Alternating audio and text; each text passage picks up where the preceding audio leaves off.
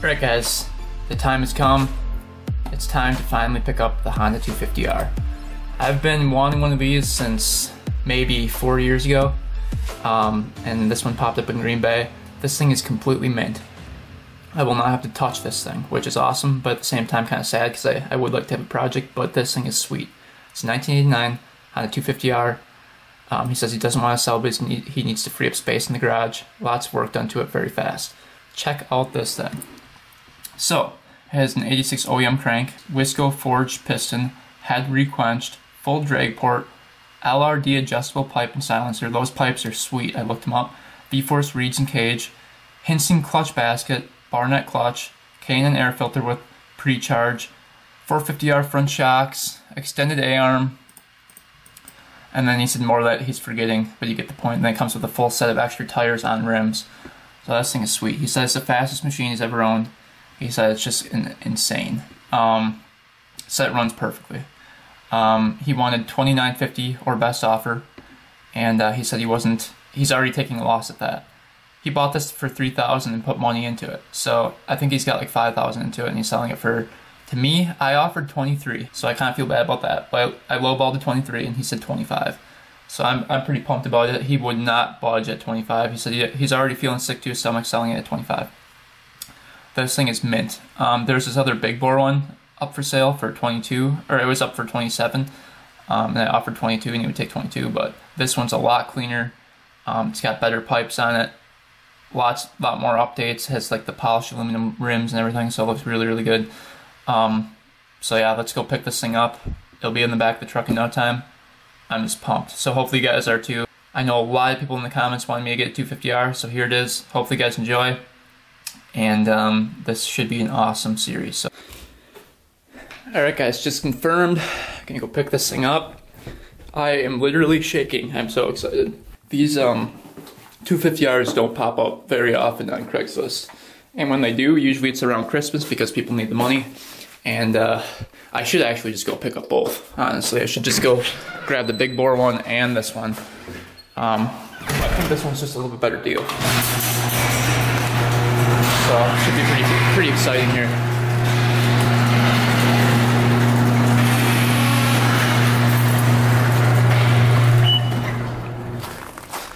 All right. Hopefully it's as nice as the guy's saying. But uh, we'll be on the road in no time. All right, I was gonna bring the trailer, but uh, I don't even think I need that. I think that's overkill. We'll just lift it up into the bed of the truck and I think we'll be good. The 250Rs are pretty light. So uh, let's head out here. All right guys, on the road, 43 minutes to get there. I uh, got the cash. By the way, just a tip.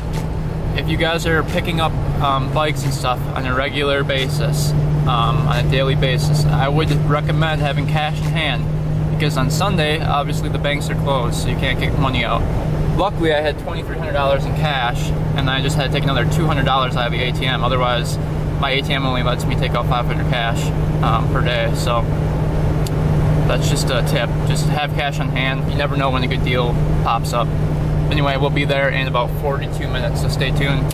Hopefully, it's going to be an awesome machine. All right, 23 minutes away here.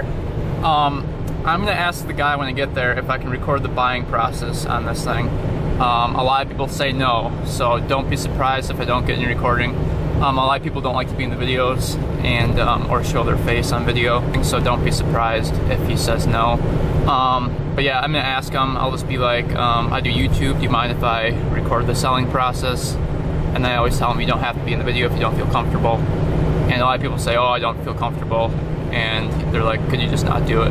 And you know, most of the time I just respect that and I don't do it. But hopefully this guy lets me. He seems pretty decent, so let's uh, let's give it a shot and see if we can get this buying process because that'd be pretty cool. All right, I'm good.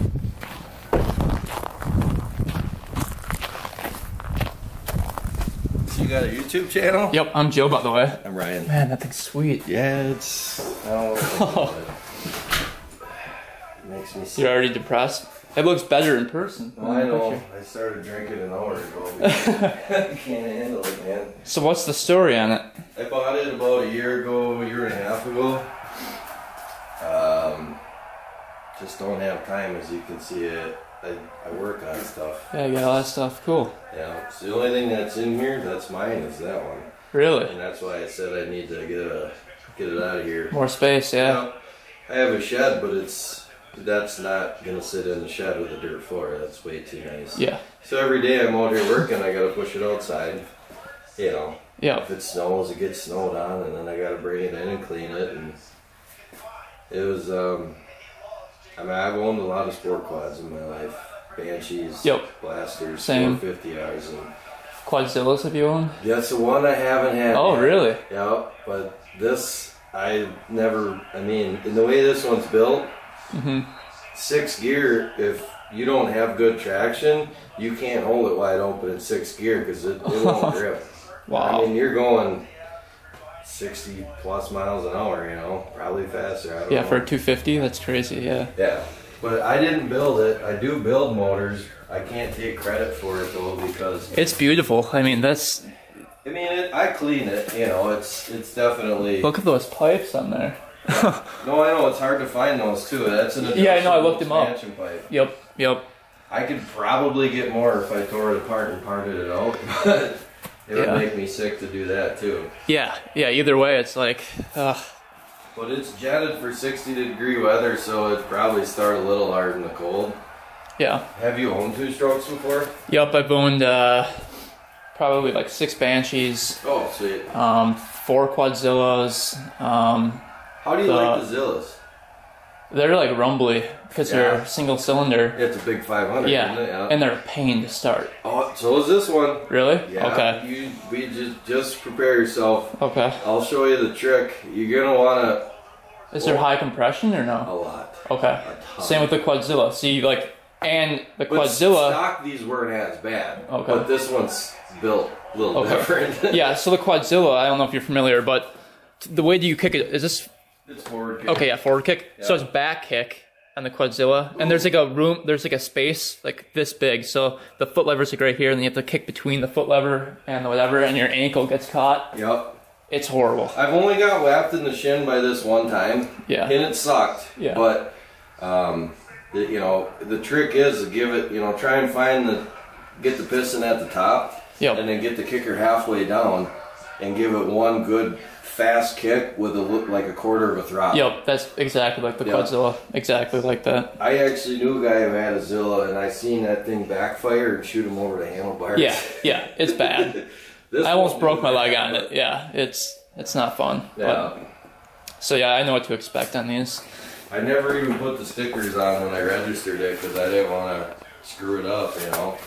Yeah, it's it's really nice looking, Yeah, I mean, it's, especially for how old it is. Yeah, I mean, I'm sure uh, you know you're gonna have to replace a little wheel bearing or something here or there, shit like that. But the back, I got a stack of papers on it too. Oh, everything done to it and stuff. Everything except the current motor build. The dude built the motor and then sold it because he got his hands on a Banshees. What he wanted to do was drag race it. Oh, okay. Well, Banshee is a little bit better for straight line. You got two cylinders compared to one. Yep. So he got his hands on a Banshee and he's like, I'm gonna build this instead. So he dumped this one off. These are better for the track though than the Banshees. Oh yeah, way better for Yeah, everyone uses these for racing. Uh-oh. Well, that's not good. Banshees are better for like the dunes and stuff like that. But Right. Oh yeah. all the brakes work and everything. Yep. All right. And you paid three grand for it. Yep. Okay. That I did. I came with the tires though, and I put a seat cover on it too because the seat cover was pretty much in shambles when I bought it. It's a nice seat cover too. Yeah, I mean, it, you can get them on eBay for like forty bucks. I, it- you know, it, it's obviously aftermarket plastics and, and tank cover and everything. Well, I don't know tank cover. They were blue in '86, I think. Yeah. The blue doesn't match perfect, but it's it is what it is. Yeah. But this, so basically, the guy that originally owned it had it for like twenty something years. Oh. This was everything that he did to it, Okay. Wow. and then seats add up to like a crazy amount. a lot. Yeah. Yeah. And then I think he had, I don't know if he raced it or what he did with it, but he ended up, it's a two stroke. They don't last as long as a four stroke. Yeah. So that guy blew it up. And then he put it in the shed. Well, I shouldn't say shed. It was like a warehouse. Mm-hmm. And then it sat there, and the guy I bought it from saw it, and he's like, "Hey man, how much you just sell it to me? I'll build it." And so then he did the '86 crank, had the head redone, Wiseco, piston rings, all that. It's not bored like it's not a 330 kit or anything. Mm-hmm. It's bored over, but that's just to clean up. I saw one up there for a.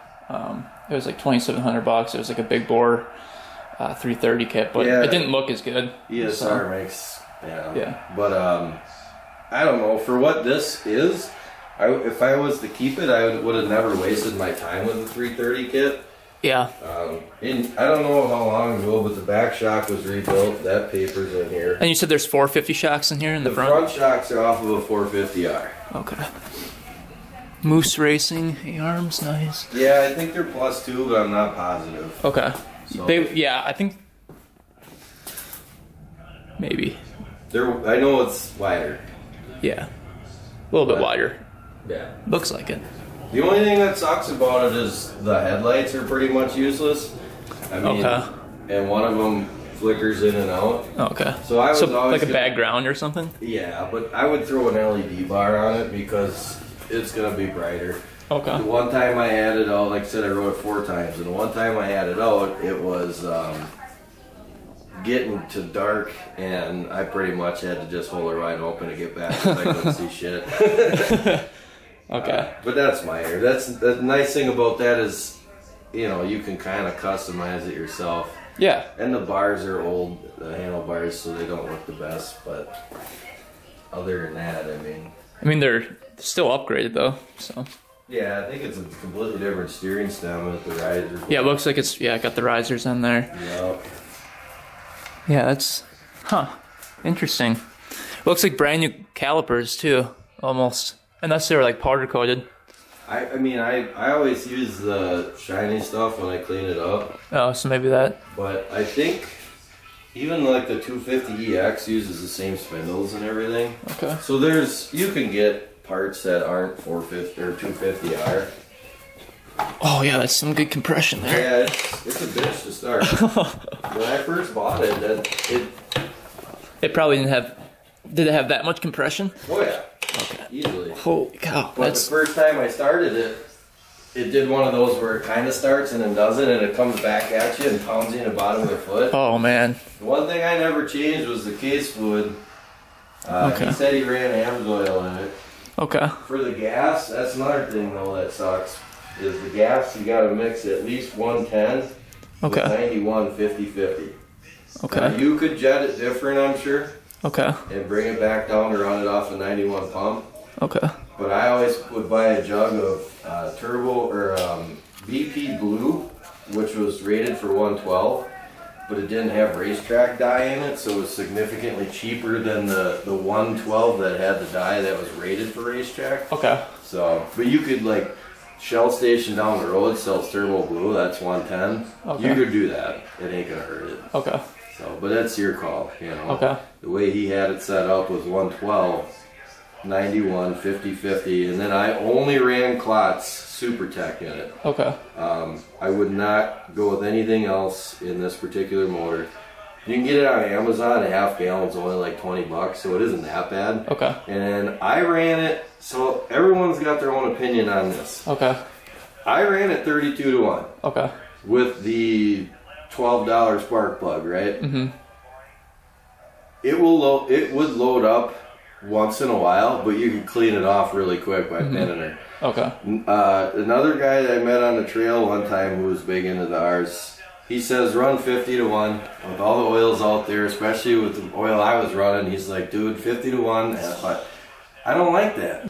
It's going to cost a little more to run it, but like I said, I've never been on anything that fast in my entire life. Yeah. So, Yeah, I bet it moves. Looks like it. yeah. Yeah, that's pretty cool. And then it's got, well, I don't know, did you read the whole ad? Yeah, a bunch of aftermarket stuff. Yeah, the clutch. He has a Barnett or Hinson basket Barnett clutch. 'Cause again, I mean the clutch. If you pull it, it's kind of tight. And I remember being worried about that too, like trail riding. Mm-hmm. But it, it didn't even affect me. What what hurt more is hold, holding the throttle open. Thumb got tired. But Yeah. my, my clutch hand never got tired. Yeah. But you know, you gotta have a nice tight clutch with the amount of power it has, or it's just gonna slip. Yep. Yep. So, Yeah, better to have a nice tight clutch than have it slip all the time. right. Yeah. So Swing arm original. Looks like it. I think so. I think they use pro legs. I was always into the newer quads, but then I had a Banshee and I'm like, this is awesome. Yeah, those things are sweet, They aren't are. they? Yeah. Dude, it's hard with the twin cylinder. They they seem to blow up pretty quick. Yeah. Oh yeah. If you don't have those carbs sync perfect, so What what I always hear is if it's running great, expect another week and then it's gonna blow up. but these single cylinder one carb, it's pretty much straightforward, you know. yeah. Yeah, man, that's clean in there. It's pretty. I mean, it's pretty clean. It's not the cleanest. I've seen ones that are nicer than this. Yeah. But they're also in that uh, Four grand? above range. Yeah. Yeah. I've seen some guys that have original 86s that have never been touched, and they're asking like seven, eight grand for. 'em. Yeah, I saw it on eBay for like eight grand. That's it's like. I mean you'd have to have some cash for that. Right. And it ain't worth it because you. I personally couldn't buy something like that and enjoy No, it. no. I'd be worried about. Those are the people- scuffing the fender or something. Yeah, those are the people that put it in their uh, living room and just watch it. Right. Which I mean, that's kind of a shame too. But Right. It'll start. It's just in the Takes a summer. while. In the summer, it'll start on the second kick. do you know what it's jetted at right now? It's a 60 or 160, I believe. For the main, yeah. I believe. Pilot. I never brought. I never even opened it up. And then looks like I left the gas on. If you leave the gas on, gas. Uh, you'll get a little Overflow. bit a trickle. okay. Yeah, it smells like gas. Yeah. Yeah, the overflow's right there. Okay. Yeah. But I'm sure. But it doesn't leak out of the engine at all. no, no, that's got to be out of the overflow. Looks like powder coated frame. Yeah, I think he had the frame redone. But I, like I said, I always spray the shiny stuff on it, so you know it always looks really nice. Yeah, yeah, yeah. all right, well you're the master at it. All right, Let you give it a shot. see if I still got it. Man, that thing looks clean. and then it's just, it doesn't have a key. It's just a, you know, tether. Okay. Like a jet ski. yep.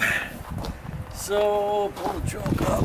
Yeah, I watch this whole process here. So the choke's right here. This is also how you adjust the idle. Okay. I've got it dialed in. Okay. Once it warms up, it idles. Okay. But you just pull straight up on that. All right. To adjust the idle, you actually have to spin it. Okay. Clockwise, counterclockwise. All right.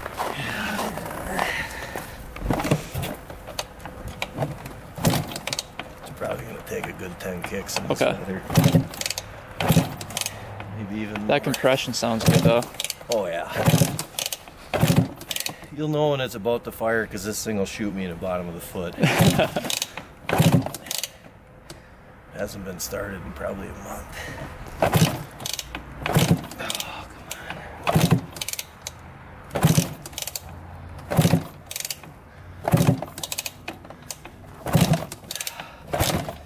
Probably should have started it before you got here.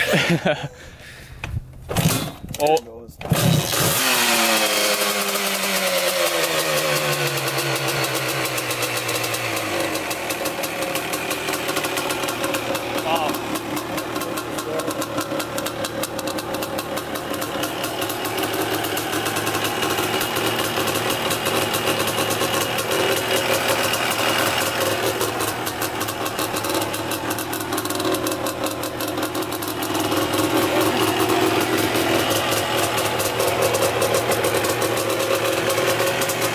sounds pretty good.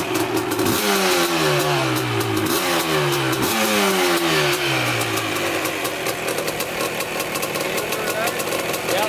Wanna hold that for me? Yep. Where can I go? I always go like like through the front yard and then all, through the backyard. You'll see the tracks. You want me to do a lap for you? Yeah, I'll- yeah, you can do a lap first. Last time I ride it.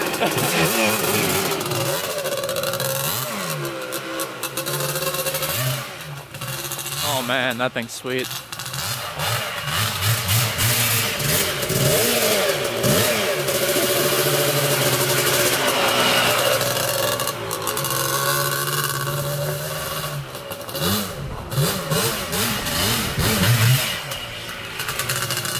That thing is insane.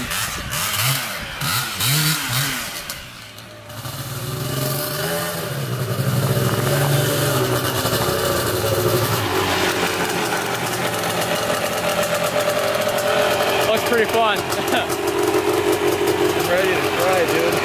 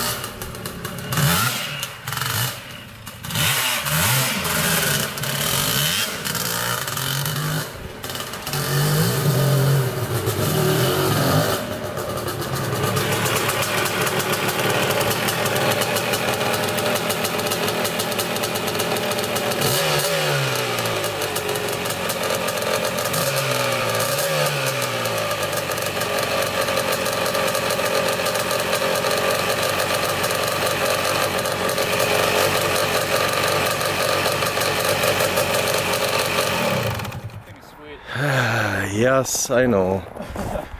Yeah, the clutch is a little bit different than the It's tight. normal one. Yeah. It's not bad though, because you don't have to pull it much. It's And tough like with I gloves said- on. I can't really feel my hands in the cold anyway. Well, yeah, and it's, I mean, I only rode in the summer, and I had riding gloves, which are a little Yep, tighter. But yep. yeah, I mean, it uh, again. I was concerned about how tight that was for trail riding, but that was the least of my worries. It was the throttle pull. Trying to hold on, probably. Yep, yep. yeah, you can tell that thing's gonna go. I mean, Oh, dude, I yeah, it sounds mean.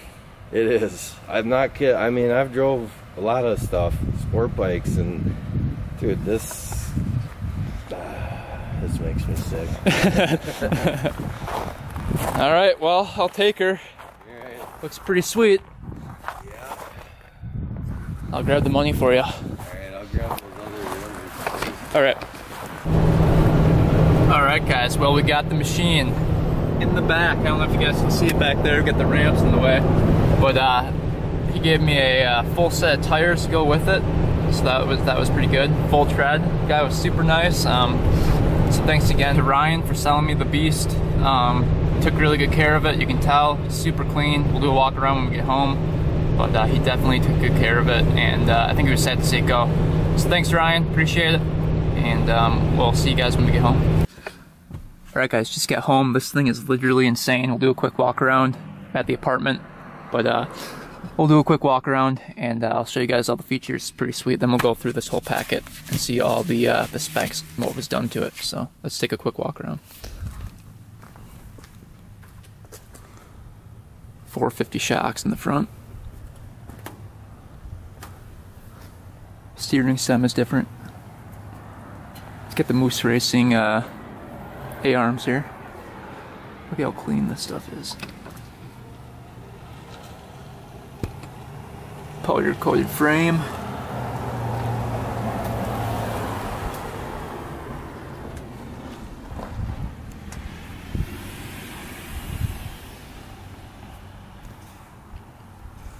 Updated seat cover and plastics. Looks pretty clean. Aluminum rims, and then the uh, the extra tires that come with it. Whole set of brand new tires on the older rims. Wrath chain guard protector. This thing has six gears and it wheelies in every gear, uh, Ryan said, which is insane.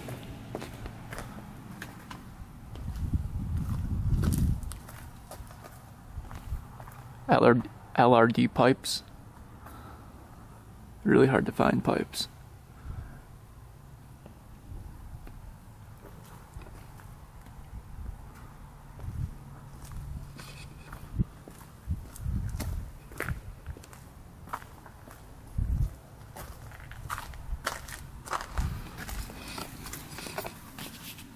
But yeah, that's what it looks like. Let's uh, go inside and take a look at the specs here.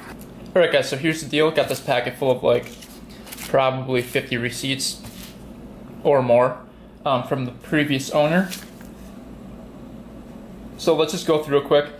He actually had a dyno, um, and this was in 2003, and he said he's got um, pipe reeds and filter. It said pipe reeds filter. I don't know what that means, but um, it said the max power was 32.8 horsepower on that run. Um, so that looked pretty good. That's pretty. That's pretty good for that. Um, let's just look through some of these receipts here. I'm going to what I'm going to do is make a an Excel sheet with every single cost on this and then add it up, and I'll put that in the video so you guys can see it. But it is an insane amount of money that was put into this thing. Um, let's just go through some of the stuff. So this receipt came out to $138 bearings kit, swing arm bearings, and um, um, what does that say? Something for 50 bucks. So that that one came out to 138 dollars. This one came out to be 131. Um, this is case saver and clutch. So the clutch was 90 bucks and the case saver was 35 dollars. Um, that was 131 dollars. Um, this was 210 dollars. Honda frame and miscellaneous pieces. Powder coat um, dark blue and black $210 for that. Um, rear fender crossbar pad and um, clamp kit and bars. Um, Trailtech ATV big bar clamp kit and handlebars polish. All that came to be a $312 for that um, air filter outerwear and flange nut came to be $54 for that one so these are just adding up like crazy um, this was total $65 for a, what is it? Um, exhaust power flange. Um, let's go through some of these pretty quick. This one came out to be $187 for to bore the cylinder. This one came out to be $182 for a scoop and grill kit. $182, you can see right there. This one came out to be $19 just for some miscellaneous stuff. $30, $84, um, $21, $32. This is just a bunch of miscellaneous stuff here. $10, uh, $31, $33,